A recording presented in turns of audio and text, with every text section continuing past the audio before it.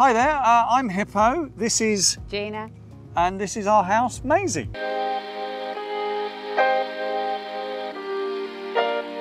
Let's start the kitchen. Um, Gina wanted a big kitchen, so we have a big kitchen. Four ring hob. Um, we don't have an oven because we have, oh, it's buried somewhere under there. We have like an Omnia oven and we have these little ridge monkey type things. So we, you know, we just don't need an oven. We got our funky spice rack, which is um, definitely not straight and level, but nothing in the van ever was. So you know, it, it's never going to be level. So So it was in purpose, like this. yeah, yeah. I mean, originally when I built it, I kind of had it out like that and said, "Do you know, you know, is, is it right there? Should it be left? Should it be right? And she was like, do you know what? Just, just drop one end.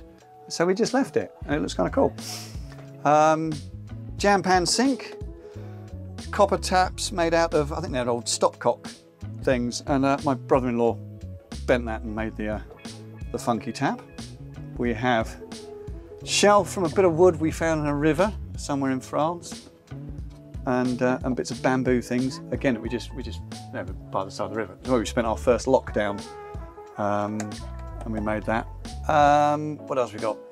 Storing things for for cooking stuff, and then under here um, you got these um, uh, oak doors. Um, we found them at an old woodyard, old oak panels, um, but they were really really green. And when I built these, I know, we didn't do it many months ago, I know, a month ago, these were all beautifully tight, absolutely lovely, and it's just dried out. So when we get back, we need to um, just, I'll just move that along, get an extra little strip and just put them in just to cover them all up. Really exciting. There's bucket and a bin. So uh, if you like a bucket and a bin, that's that. Full size fridge, uh, which is, I don't want to see that, do you? Full size, no, it's full size. It's got things that are cold. It's like 100 liters, probably. Yeah, I think so. Yeah, we did think about compressor fridge, but really expensive. Oh, For you anything, It's even- gas. Uh, no, it's just like domestic fridge. Okay. So yeah, it runs off the inverter over there. How they work? Um, things that I don't touch. And then um, yeah, again that's that oak because that bit was originally that was flush, fitted beautifully in there. Now it's gained character. We got it. And then there's the uh, fun cupboard for the dogs. It's all their rubbish in there. Pallet wood, this one was. But yeah, contains, yeah, you know. What if people really do like looking in other people's cupboards? But, uh, oh yeah, and our, oh look, family. Um, so there's all those bits. And then we've got all these bits that are out, but they're, that's all glued down. That's all screwed down. Actually, that moves, I think, yeah. But, um, but loads of the ornaments that are out are kind of permanent so that we don't have to pack everything away when we go because it's a real pain. So, you know, all these things are all glued and are not going anywhere. Um, right, coming back here, we've got a dog and then another little seating area. Great place to sit and nose out the back door. And then under here, if you'll move out the way, you, I've got you see, Gina gets all that. I get this little cupboard. And I have to share it with all the electrics. So yeah, I've got my tools and stuff in there. And then in here we've got our leisure battery, which is a, what is it? It's a 150 amp hour lithium, uh, which we, and sandpaper, which you, you can lick. Don't lick sandpaper. That's crazy. You got a really smooth tongue. You shouldn't lick sandpaper. Um, we, we only got it um, just before we came away because we had lead acid before, but they lasted like two years, and then that was that was really it. It's day and. Yeah, and that that's just brilliant. That thing. I mean, it's um, it's never been below fifty percent. How many solar panels on the roof? Oh yeah, two um, two solar panels, three hundred and five watts each, so six hundred and ten total. And um, yeah, it's sometimes in the UK in the winter if we haven't got very good weather, which oh yeah, be every day. Um, you end up turning that you you know, might turn the fridge off at night just to sort of you know give it a little bit of a chance. It's not dinner time.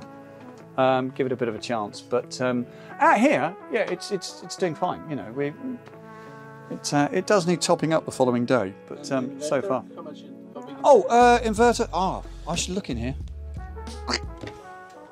It is is that 1200 watt? 1200 watt, yeah. Yeah. Yeah. So, you know, it doesn't really. The fridge is by far the biggest draw on it, or charging a laptop, you know, that's. And you have MPPT or you have just Yes. Yep, we do. We have a. Um, I was about to say Victron. Yeah, MPPT. So yeah, load more storage spaces. In there is. Do you know what? I haven't opened this for a while. Can't remember. Yeah, so there's our um, uh, 4G router and another control panel to tell me what's going on down there uh, in case I ever understand the numbers. Um, I need a wood crafting. yeah, This things. nice. Oh, th- this. Oh, yes, my, my, my attempts at carving.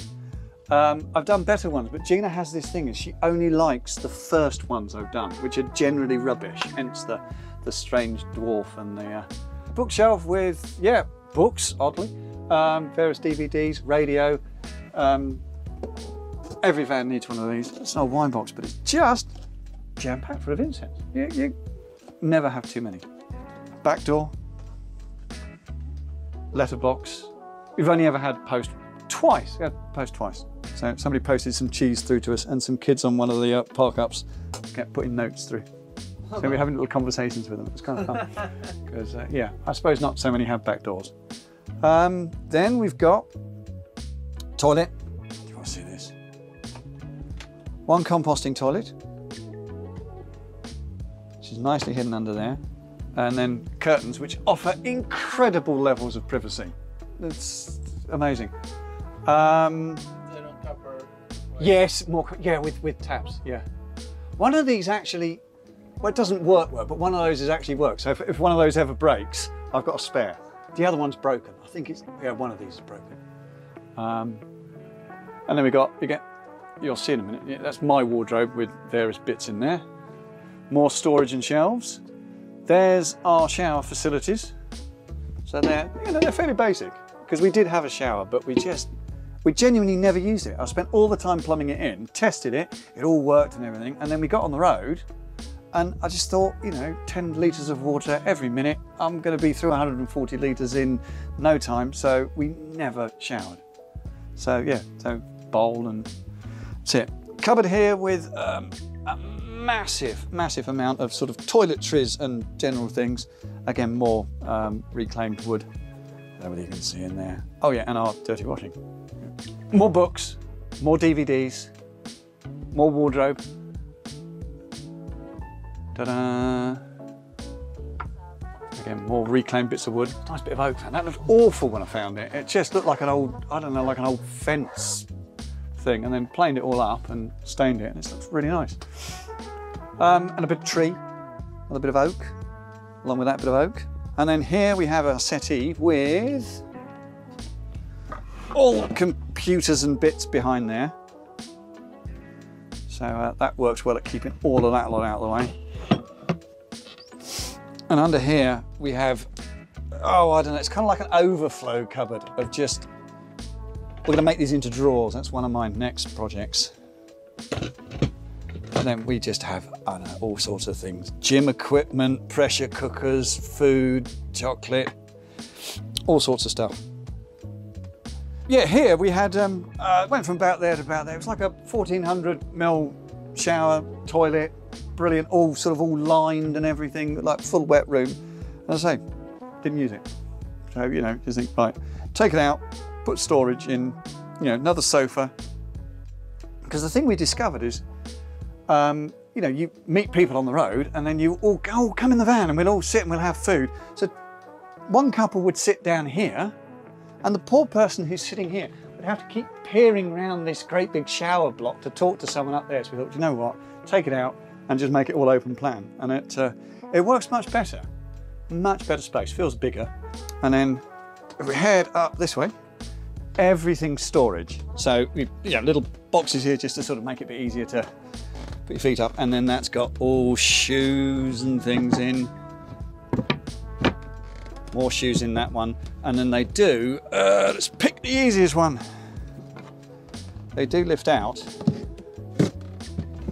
because then behind there, more storage, so rucksacks.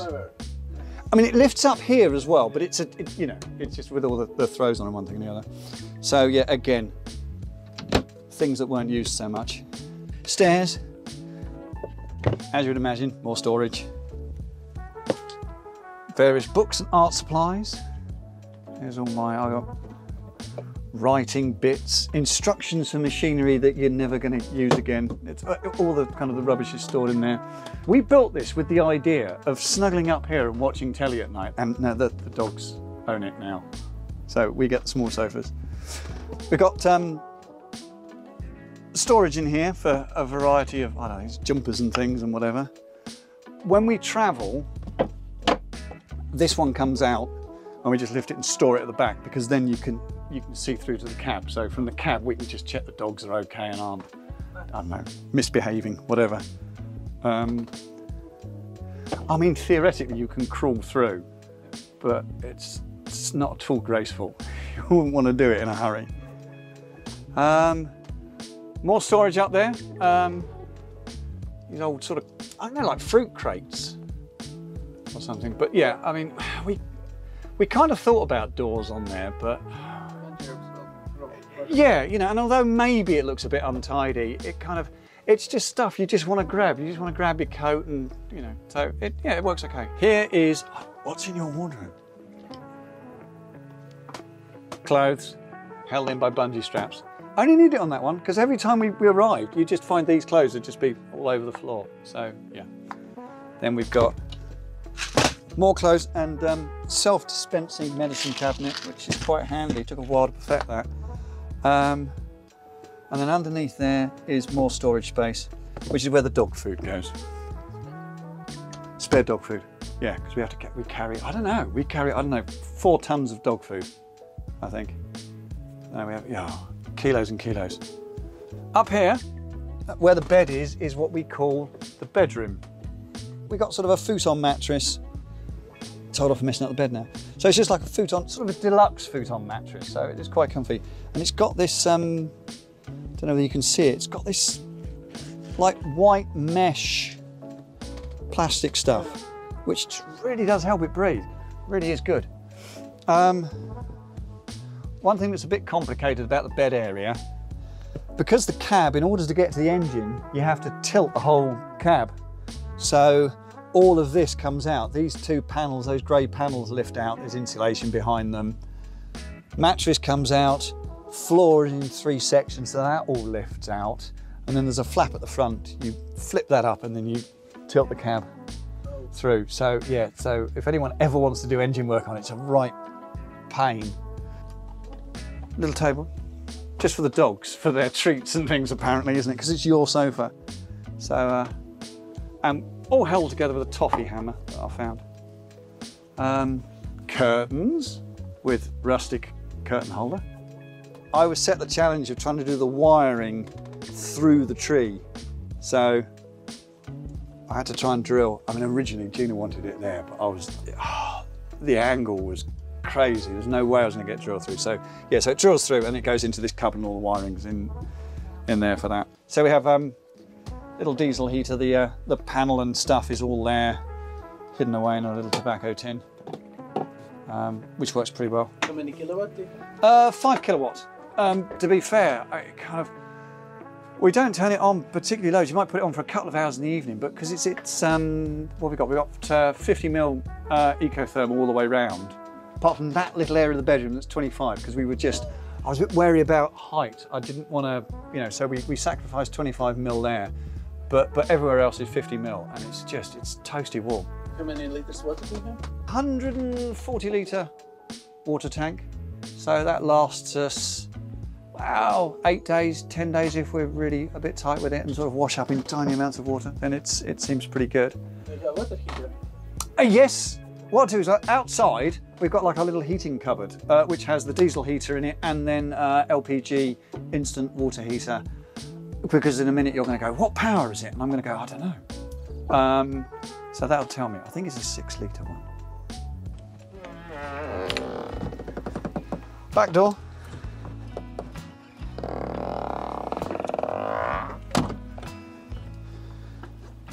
So we've got that. And then we've got, um, I won't close it all up, but um, obviously when we run, we don't and the other one just pulls across and they just bolt from the inside. What I actually did, we made frames. Yeah. So effectively, we kind of got the truck, stripped it all out so that it was that kind of thing, and then we just made wooden battens and built that sort of inside the truck. Occasionally, um, I sort of bolted the, the, the frame to the actual bit of the truck, but basically it was kind of a standalone Independent. ish. Yeah. Because the question was like, when you drive, it should swing a bit, no? Yeah. Like, Yeah, it flexes a touch. and it's not like it's not breaking anything. No. Walls in the interior. No, I mean, um, where you've got panels that sort of join, where the walls join the top, I originally filled those and yeah, it's cracked. So you just, I don't think anything would sort of kind of, you know, stop that. I've tried flexible, I've tried the, bits of rope up there, hide it. That's the easiest way to do it. But, um, but yeah, so it definitely, definitely moves. Because this door, it, it, it opens and shuts beautifully depending on how level the ground is. If you park too skew-if, it just, yeah, then it's a bit of a, a bit more of a problem. And then this wall is like properly ins- insulated. Yeah, this, this again is, um, you know, so it's like 9 mil ply, framework, 50 mil insulation, and then another bit of 9 mil ply, and then all this uh, battened on the top. What are the slides? There, ah, it's because water just pours off the top and used to run down here, in there, and then into where all the heating equipment is. So it's just to try and get it all, you know, sort of trying to get, it's like guttering. It's working. Yeah, maybe 80%. Oh, diesel heater is uh, has independent diesel tank. Yes. Yeah, because I was, I mean, I didn't, they don't really use much fuel, but I was worried that what was going to happen is I was going to be really nice and warm and not be able to move anywhere. So, so yeah, yeah, so independent tank. It's just down behind there. And then, yeah, this is just, yeah, there's our water heater. Our second water heater. The first one broke. Yeah. Yes. Um, it broke a little bit. It used to, I don't, um, because these were plastic pipes originally on the old one, and it, it started to develop this thing that what would happen is after you've used it, about 20 seconds later, it would suddenly go poof, and fire a jet of steam, which would instantly melt all the plastic fittings. So I had to put copper on. I thought it's not good, but it lasted another, yeah, nearly a year before it one day made that same noise and just kind of exploded. So, uh, so yeah, so that's the replacement, and hopefully it's going to work. Um, all the pipes are now lagged after we discovered that they all freeze in minus six. Um, so that was a bit of a pain. Um, but hopefully it's okay. But ultimately, if we keep, if we only go to warm places, it should be fine. There's the LPG thing. So, what's good? Truck itself, it's like Volkswagen LT, right? Like Yeah, Volkswagen LT cab. Engine is MAN. I think I'm not sure who the gearbox is made by. Um, somebody who doesn't want you to find gears. Um, but yeah, all the electrics and, and stuff is um, all VW, which is weird because most of it's 24 volts. So um, oh yeah, so like the headlights can't be and things. Um, that's about it. Actually, the cab's a bit. Yeah, exactly. Well, We've got to do the cab, um, but we put these in this year. Yeah, because the old seats were, they were tired. So um, these are meant for uh, meant for Land Rovers. So we had to cut the frames down and sort of weld a bit on and stuff and whatever. But um, now they're quite comfy. So as you get bounced around all over the place, at least you've got a comfy seat. My brother-in-law made this. I, I made the first one out of pine and uh, I spent ages measuring it, and it was all beautiful, and it, it was it all lined up. It was all you know like two or three millimeter gap all the way around, and then it rained, and it just went all sorts of different shapes. So uh, yeah, Rob, my brother-in-law, made this. We put these bits on, um, and it stays the same size all year round, which is great. And then yeah, our little uh, side steps. I said, shall we live in a lorry? And you said no. No. Yeah. Four months later, we drove off it, but without running water, without heating. Sofa went out the door. I was like, He's writing a book about that. Trust me. So we just drove off in the end. And luckily, we had enough fuel to get back. We might explore like Turkey, Croatia, might go Morocco.